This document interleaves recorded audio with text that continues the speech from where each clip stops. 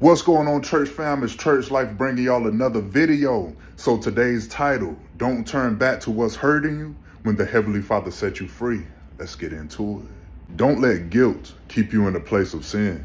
Sometimes the enemy will use how we feel about ourselves to keep us in a dark place. And sometimes it's that shame that calls us to keep turning back to the very thing that hurt us because we may feel like that's all we deserve.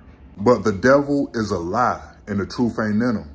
See, one of the most powerful things that the Heavenly Father taught me is this. It's impossible to heal from something that you keep returning back to.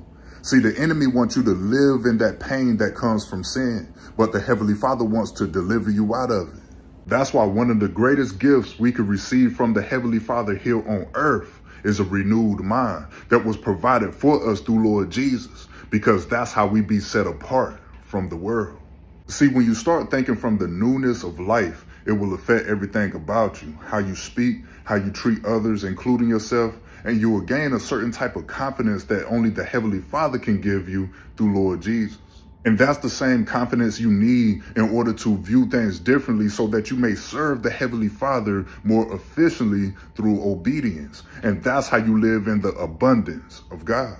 The devil don't want you to gain access to the truth that's in the scripture because the moment you begin to live in the Holy Spirit of God, you will begin to put away the old man and become a new creature in Christ. The devil can only tamper with the things that keep us connected to the world. So when we begin to let go of the world and live in the spirit by having faith in Lord Jesus, that's what set us free from captivity. So the more you let go of worldly things, the less power the enemy has over your life. That's why today I pray that you don't turn back to what's keeping you in bondage when the Heavenly Father deliver you out of whatever you're struggling with.